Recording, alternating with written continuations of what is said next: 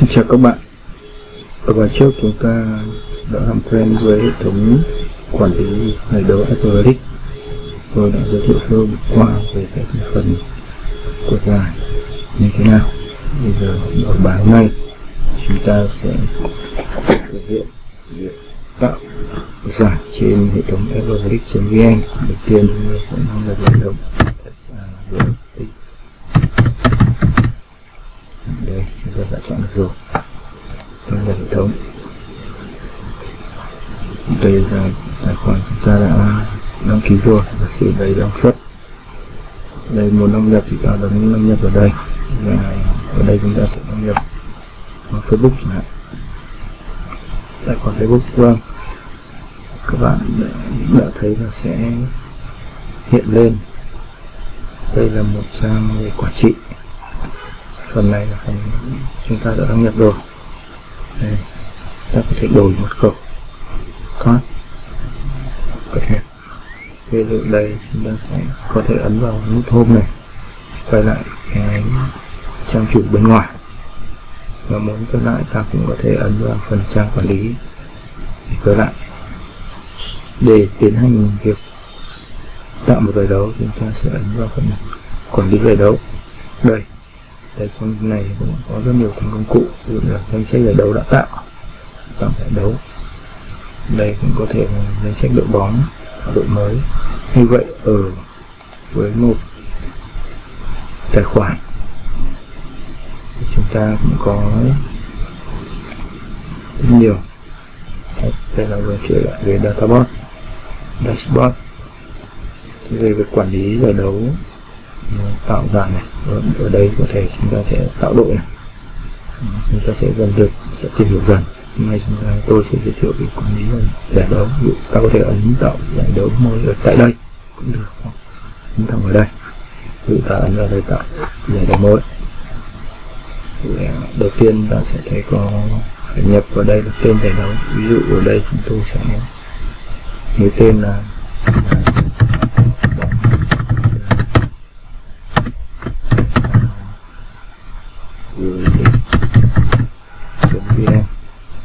ta ở đây lưu ý là sẽ tạo giải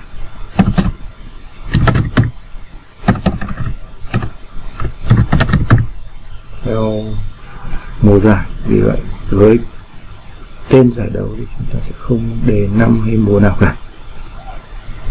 Khi vào trong giải thì chúng ta có các mùa giải, ví dụ như là trong cái giải này chúng ta sẽ có các giải 2019 2020 2021 2022 thì như vậy, khi quản lý chúng ta sẽ rất là thuận tiện. Và ở đây chúng ta sẽ có phần đề chọn ảnh logo và vào đây sự ở đây chúng tôi sẽ chọn một tên,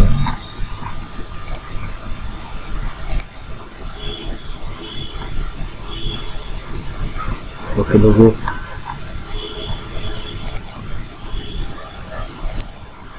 ví dụ đây là thể với một logo này cho gọn đây logo Đó.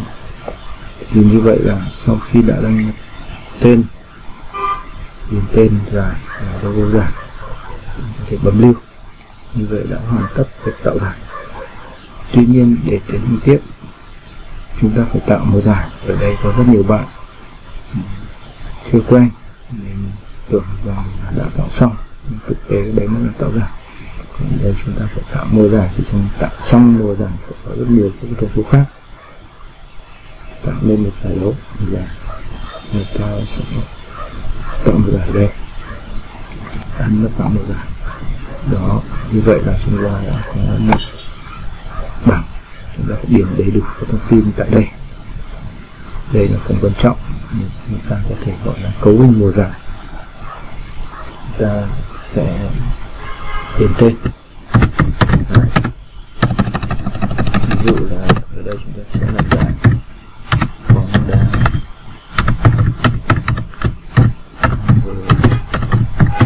Vn ở đây chúng ta sẽ đăng năm luôn. Năm 2020 chẳng hạn. Dạ. Như vậy là đã xong phần tên giải đội đi thi đấu đây, có thể viết tắt để chúng ta nhớ được. Dân không quân tôi viết tắt không không quân. Như vậy. Tôi lấy một ví dụ điển hình. Đó là số độ tham dự ở đây. Các giải thường sẽ cùng là 16 độ. 16 độ. Và ở đây sẽ là đá theo thể thức. Thể thức nào? Thể thức có thể vòng tròn một lượt hoặc là chiếu bạc đối với 16 độ thường chúng ta hay dùng chiếu bảng, đó.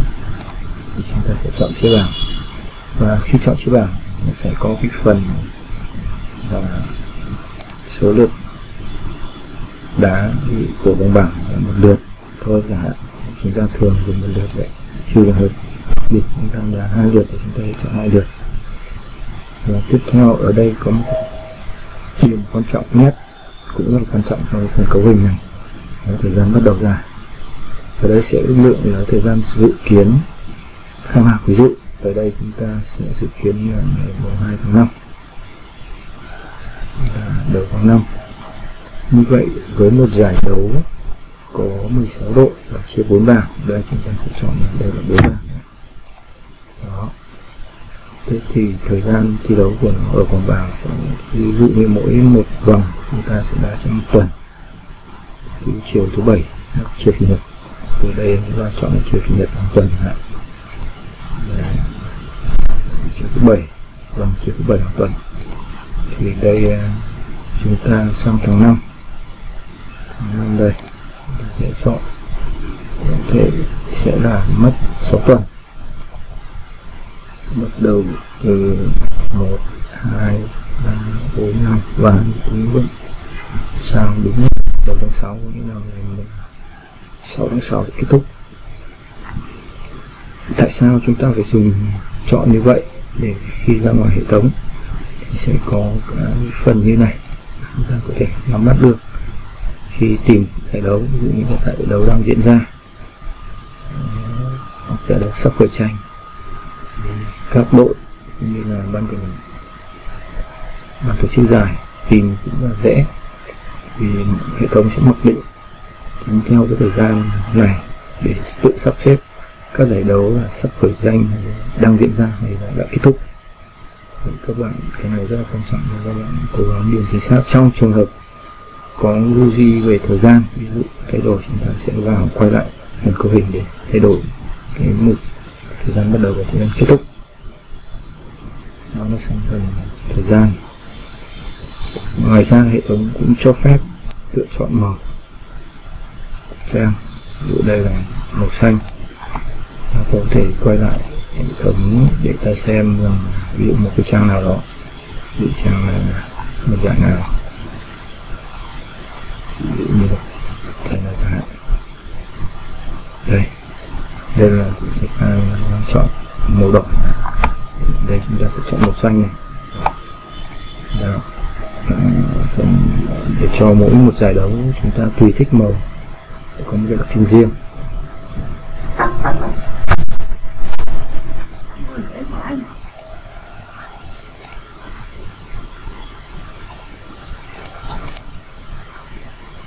Và như vậy là chúng ta xong với phần về bảng đấu. Đây các bạn nên lưu ý một chút, chú ý là đối với cấp giải đấu bảng, sẽ phải chọn thêm một nữa các đội vào vòng nước ao hay gọi là vòng loại trực tiếp. Đối với giải 16 đội, ta thường hay chọn hai đội nhất nhì mỗi bảng. Như vậy tổng cộng 4 bảng sẽ có 8 đội, trong đó có 4 đội nhất và 4 đội nhì. Ngoài ra có một số giải đấu như là 24 đội chẳng hạn, thì chúng sẽ chọn ngoài hai đội nhất nhìn mỗi bảng chúng ta có thể chọn thêm là bốn đội có thành tích tốt nhất thì chúng ta sẽ chọn ở đây. Nhưng mà trong trường hợp 16 đội chúng ta sẽ không chọn đội nào. Hoặc một số dài một số đội nhiều hơn có thể chọn đến tổng đội mình thứ tư. Và tiếp theo đến mục có chọn trận tranh giải ba không một số giải có trận tranh giải ba nhưng có một số giải thì như trên địa gian mà đã chung kết luôn, thì ta giữ nguyên là bị chọn đây là không. Còn giải nào mà có trên địa gian thì chúng ta đến ở đây, nhưng mà sẽ thể hiện là có. Rồi ở giải này chúng ta sẽ chọn là có trên giải ba tiếp theo, mục tiếp theo chính là phần đăng ký tuyến. Đối một số giải thì chúng ta sẽ cho phép các đội đăng ký trực tuyến. Có nghĩa là khi setup cấu hình, chúng ta sẽ setup up ngay từ đầu cái việc cho phép các đội đăng ký trực tuyến. Các đội đăng ký trực tuyến đây có nghĩa là gì? Là được đăng ký tham dự giải trên hệ thống và tạo đội cũng như là tạo đăng ký online, cập nhật các cầu thủ khi tham gia giải. Trong trường hợp một số giải nhỏ thì ban tổ chức có thể sẽ tự tạo đội cũng như là tự nhận cầu thủ cho các đội. Nếu các đội chưa quen tuy nhiên chúng tôi luôn khuyến cáo các bạn nên sử dụng phần đăng ký trực tuyến để cho các đội chủ động trong việc đăng ký sửa và, đăng ký tham dự giải. Và có một điều đặc biệt nữa là khi các đội đã chủ động tạo giải những các đội à, các đội đã tạo đội trên hệ thống và đội có thể quản lý luôn đội bóng của mình trên hệ thống. Năm nay có thể sử dụng đội của mình, tham dự giải này năm sau vẫn có thể sử dụng đội của mình hoặc cầu thủ, thêm bớt cầu thủ ở giải năm sau. Như vậy sẽ rất là thuận tiện.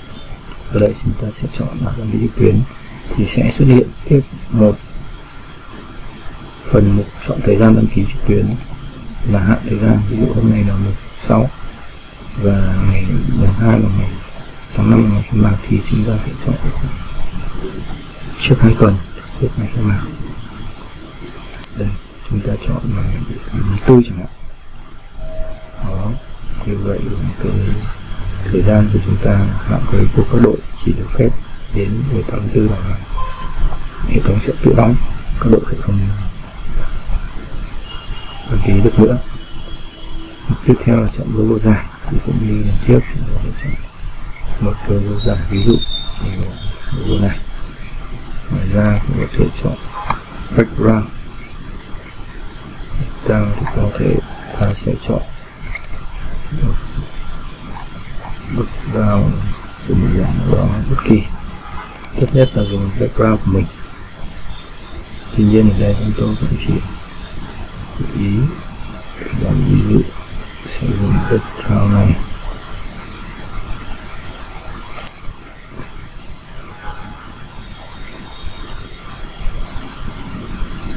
background đây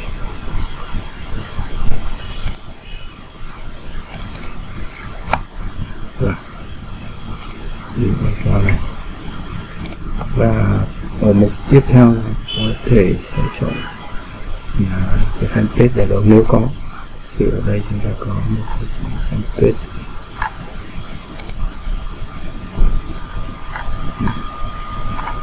ví dụ ở đây chúng ta có fanpage này. Click.vn chẳng ta copy Ctrl C. Cái đường link đó. Chúng ta quay lại đây. Ctrl V copy đường link fanpage rồi vào cái mục cuối cùng là địa điểm thi đấu, những cái sân bóng của chúng ta đó. Chúng ta sẽ gõ là sân đó, như vậy là nó đang gợi ý, hệ thống gợi ý cho chúng ta các sân bóng. Hiện có ví dụ sân bóng phòng quân quân đó. Chúng ta sẽ ấn vào đây để chọn phòng quân quân và cắn đây. Để thống đã gợi ý và tự động sẽ chọn luôn chúng ta bản đồ.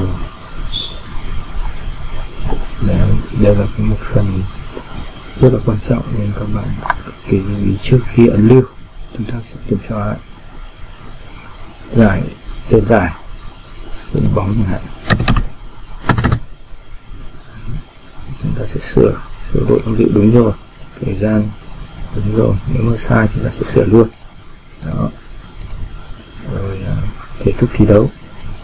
Chiếu bảng hay là gọi vòng tròn, hay là gọi trực tiếp. Đó. trên hệ thống có nhiều cách để chúng ta gọi, chọn, lựa chọn các thể thức thi đấu. Đây là một trong những thể thức thi đấu mà phổ biến nhất. Đây chơi bảng. Rồi là số bảng. Đây, bốn, đúng rồi, một lượt đúng rồi. Đúng nhất vào là đội nhì vào, gao đúng là tám đội đủ rồi. Xong để ra và sau đó chúng ta sẽ ấn lưu. Đó. Như vậy là chúng ta đã ra được một giải đấu và chúng ta sẽ quay lại cái phần này. Đây là phần cấu hình giải đấu. Đó. Lúc này thì tại giải ta đã có số ra một số các cái bảng chức năng. Trong đó có thông tin chính là cái chúng ta vừa cập nhật. Cần chúng ta sẽ sửa. Sửa lại. À, tôi quay lại. Quay lại đây. À, đây là cái phần danh sách mua giải à. chúng ta vào danh sách mua giải này chúng ta vào các danh sách mùa giải chúng ta vừa cập nhật. Ngoài ra, trong đây cũng có thể hiện quản lý các đội bóng đăng ký hiện tại thì chưa có đội bóng nào.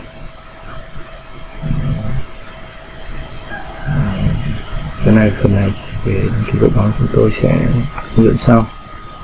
Tiếp theo là phần lịch thi đấu. Đây, thi đấu nó sẽ xuất hiện cho chúng ta tự cập nhật các cho môn định mã rồi. Và tứ kết bán kết, chung kết và ba tư. Xong ra đây. Tương số rồi là có phần bảng xếp hạng. Ở đây vì chưa có đội bóng nên ở đây mình tạo như thế này thôi. Rồi kết quả bốc thăm có nghĩa là khi nào có kết quả bốc thăm thì sẽ cập nhật tên đội vào đây. Và chúng tôi sẽ hướng dẫn một clip khác. Ngoài ra có phần thống kê ở đây thì cái này tính năng cao. Chúng ta sẽ không sử dụng. Ta ấn vào thông tin giải đấu để thể hiện tiếp. Ví dụ như ở đây đã có thêm cái phần tin tức thông báo. Ví dụ chúng ta có thể thêm vào đây. Cái phần, ví dụ như điều lệ giải hay là các thông báo của ban tổ chức rất là thuận tiện hoặc là thông báo kỳ luật. Đó cái phần này tôi cũng sẽ giới thiệu sau. Ngoài ra có thể thêm phần các nhà tài trợ của truyền thông sẽ cảm ứng thêm mới vào đây. Sau này chúng ta sẽ cập nhật dụ tên nhà tài trợ, rồi đường link. Lựa chọn đây là nhà tài trợ hay là nhà truyền thông đây truyền thông ví dụ ở đây chúng ta sẽ rất là thuận tiện trong cái việc là ví dụ như là đây là nhà tài trợ giả sử đây là FAG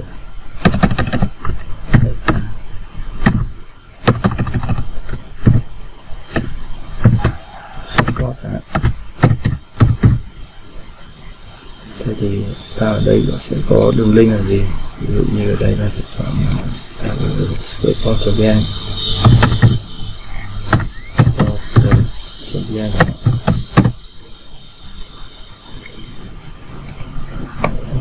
vn sẽ copy cái đường link.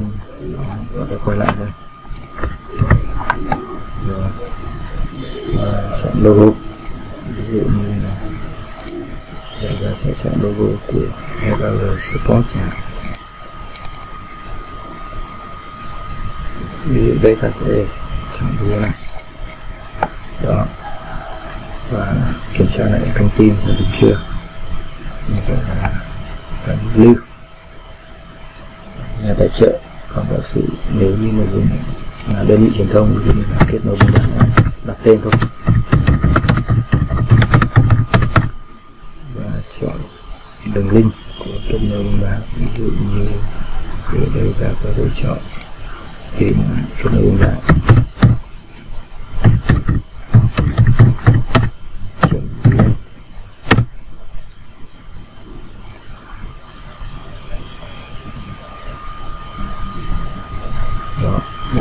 Đó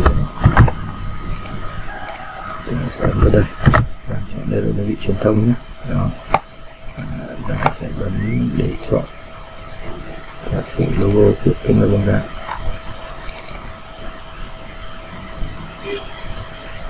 đây là lưu và các bạn cũng tùy chọn thì ngoài ra đây có thêm phần bản phẩm cái này chỉ là phần cao chúng ta sẽ giới thiệu sau. Đó, như vậy là chúng ta đã tạo cơ bản một giải đấu. Chúng ta thử quay lại ở trang bên ngoài. Đó, như vậy là chúng ta đã có xuất hiện giải chúng ta trên hệ thống. Thế thì ở đây là còn 12 ngày nữa là hết hạn nộp hồ sơ khi các đội vào đây nộp online thì sẽ ấn vào nút vào hồ sơ tất nhiên các đội cũng phải cử ra người để đăng nhập vào hệ thống như này. Đó. chúng ta cũng có thể copy đường link này để gửi cho các đội để vào cho nó dễ hơn. Đó, vừa rồi là tôi đã hướng dẫn cho các bạn về tạo giải đấu. Cái bài tiếp theo thì tôi sẽ hướng dẫn cho các bạn cách quản trị chịu giải đấu như thế nào giữ từ lịch thi đấu bằng xếp hạng kết quả quyết tâm vân vân xin uh, chào các bạn. Hẹn gặp lại.